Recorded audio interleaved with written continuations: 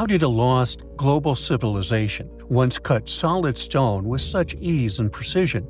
Unimaginably large megalithic structures, laser-like cut stones, utilized within the baffling, polygonal masonry, not to mention the mystery surrounding the construction of the Great Pyramids. Many mysterious drilled stone cores can be found throughout Giza. These enigmatic tool marks can also be found at the incredibly ancient dolmen of Volkonsky in Russia, exposing the capabilities and clear technological prowess that this lost civilization, who we feel were possibly experiencing an ice age, had left in order to survive its fallout. Yet I digress.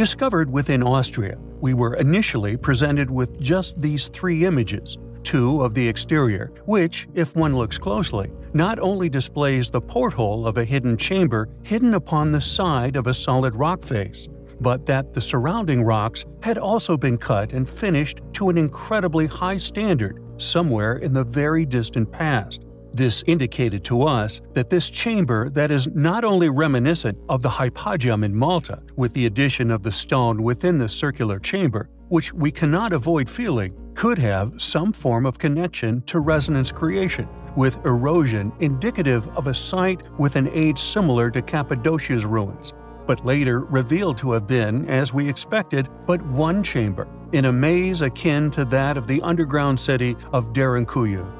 Hidden within an Austrian book of antiquities, we discover a series of fortunately mapped, solid stone-cut chambers which litter this enormous chunk of exposed bedrock. Clearly an astonishing prehistoric site, one cut by an incredibly capably, and we feel, clearly technologically advanced civilization. For why would a civilization with simple, primitive tools, such as those made of blunt or brittle stones or soft, malleable metals, such as that of copper, go to such extremes in the creation of a maze of hidden chambers, each not only finished to an incredibly precise degree, but to have worked stones into unnatural shapes outside of these chambers, many serving no essential function as far as we can identify. Who created this prehistoric site found within the landscape of Austria? How old are the chambers? What technology or tools were utilized in the creation of such a magnificent ancient ruin? Or indeed that of the Volkonsky dolmen, along with the many similarly drilled cores and their stone blocks found throughout Giza? Do all these pieces of evidence indicate the past existence of a lost civilization, one who possessed advanced stone cutting technology? We find such possibilities highly compelling. We often find that many of the most intriguing, enigmatic, and as yet unexplained ancient ruins found all over our world are regularly claimed as the legacy of more recent, well studied, permitted ancestors. However, this constant attribution to lesser developed ancestors, studied and understood intimately through funded investigation, is self-contradictory in nature. For the parallel study of said ages, and in turn early man's development, disproves their own claim of said individual's culpability or indeed capabilities. It seems that although only a specific tale of events is publicly permitted for grants, offering financial security to so-called professors and historians, all willing to toe the proverbial line inadvertently expose themselves without any outside intervention. Due to the detailed, well-established understandings possessed by modern archaeological study, we are, by default, also made intimately aware of the tools available to each of the claimed culprits, the knowledge levels in which they possessed, and the fact that many other factors regarding our not-so-distant ancestors disproves academia's own testimony when it comes to them as claimed builders. However, although, in our opinion, there is overwhelming evidence to suggest that many ancient ruins were instead re-inhabited by these claimed constructors, utilizing these ancient sites, often fortresses, beneficial, often ingenious, and baffling constructions safely, virtually impenetrable designs, and thus solid foundations for the development of their own civilizations, not only allowed them to flourish, but also leaving behind a detailed array of archaeological finds, used as the basis of academia's claim of these groups having built these sites, but also claiming such sites as their work in historical records, records which are always absent any explanation as to how this was achieved. There also exist sites on Earth that, instead of allowing funded individuals to use additional re-inhabitations as a basis for an argument for their origins, can instead, due to the sheer mass of these historical footprints, each stacked atop one another, can instead actually indicate the site's enormous age. A land feature generated as a result of this incredibly long-lived accommodation that we call tells. Tells are artificial mounds formed from the accumulated refuse from generations of people. Tells are most commonly associated with the archaeology of the ancient Near East, but they are also found elsewhere, such as Central Asia, Eastern Europe, West Africa, and Greece. Within the Near East, they are concentrated in less arid regions, including Upper Mesopotamia, the southern Levant, Anatolia, and Iran, which had more continuous settlement. What can only be explained as man-made, artificially generated sedimentary layers, one has to ask themselves, how long would a particular site have to have been inhabited for to create such enormous, incredibly deep layers of earthwork, merely generated by its inhabitants living in said area, clearly for an unimaginably long period of time? The Erbil Citadel, for example, locally called Kalat, is a tell located within the historical city center of Erbil in the Kurdistan region of Iraq.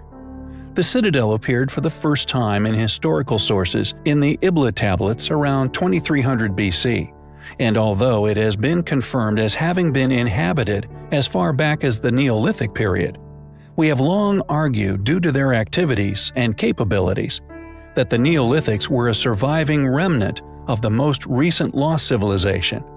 If this is so, then it is highly likely that the citadel of Erbil is in fact far older than that of even the Neoliths, its incredible height also indicative of an inconceivably long history of virtually continuous inhabitation.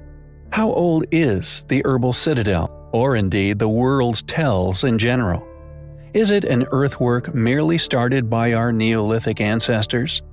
Or is it possibly a relic spanning far before currently understood or indeed accepted timelines for man?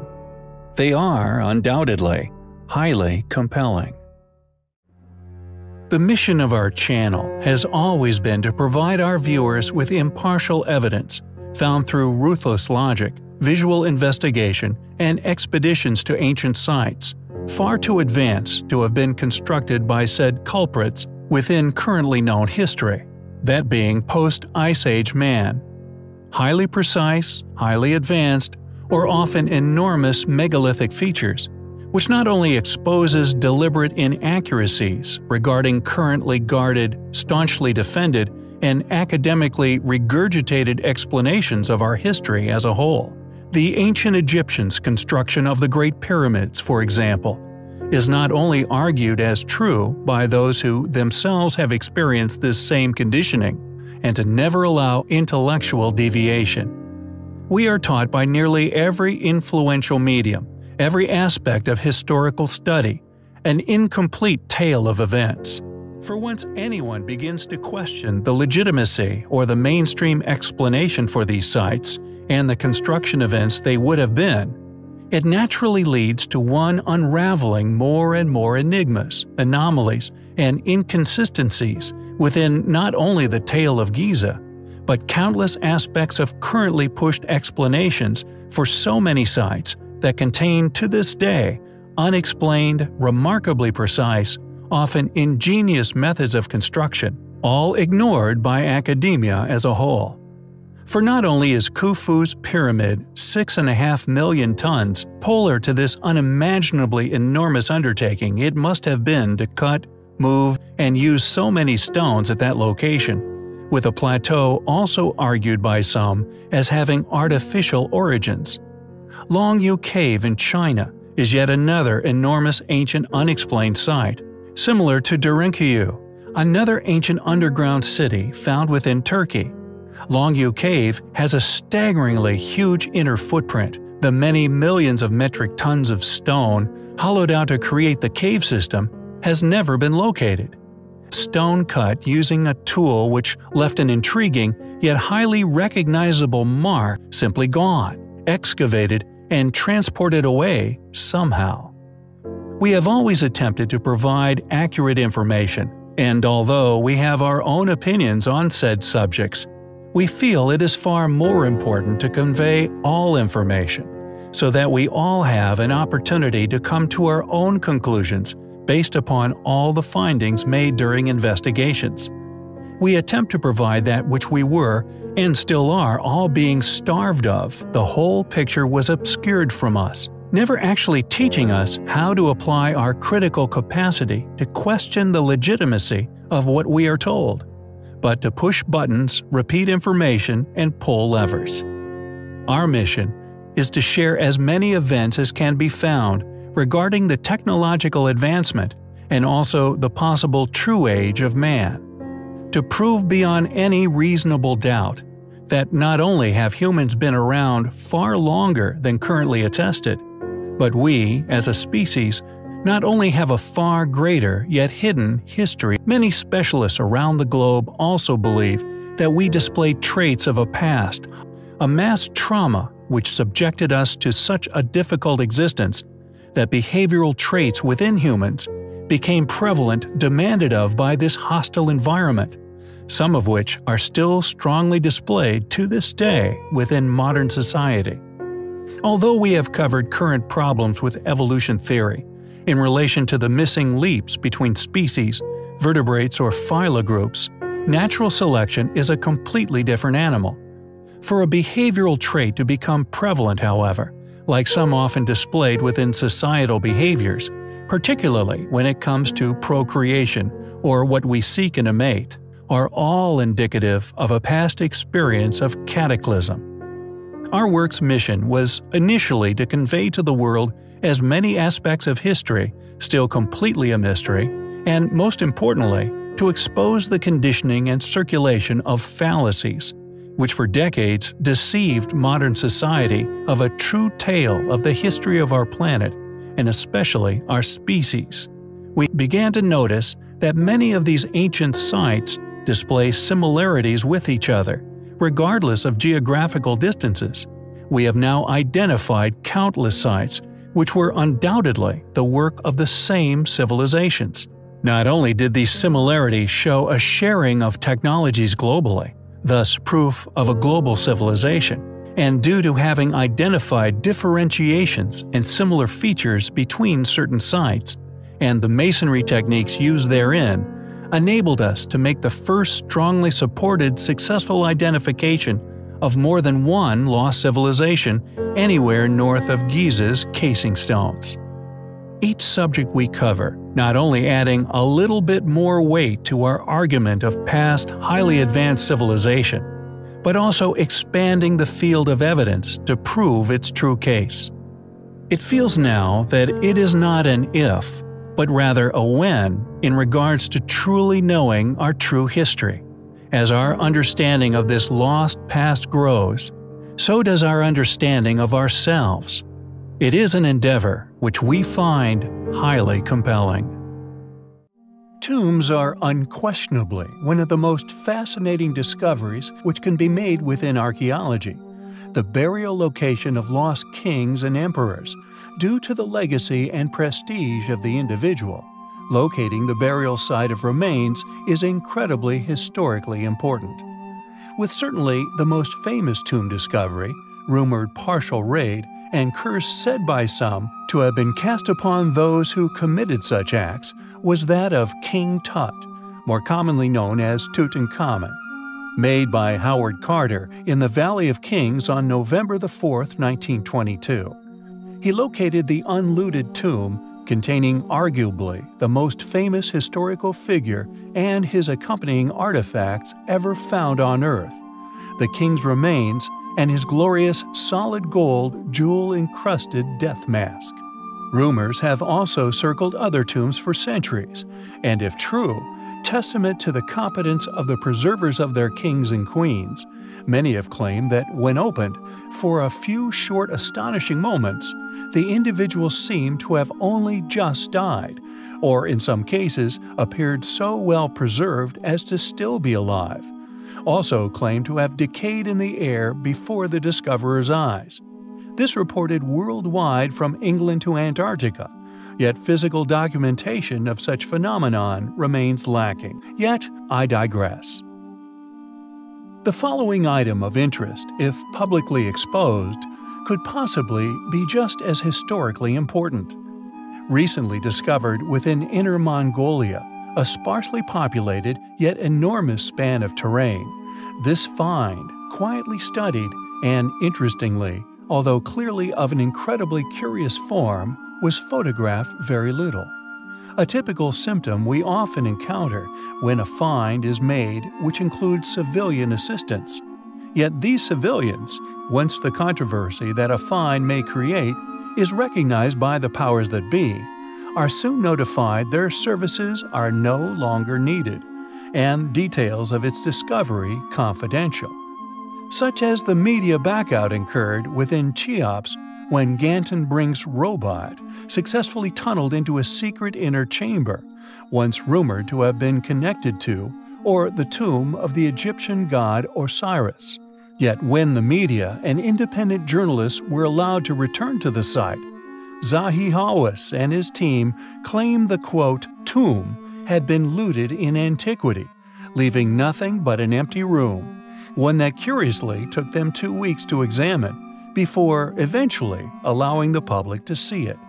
This find, in many ways, is no different in terms of the apparent media blackout which has descended upon the tomb's occupant, is incredibly familiar.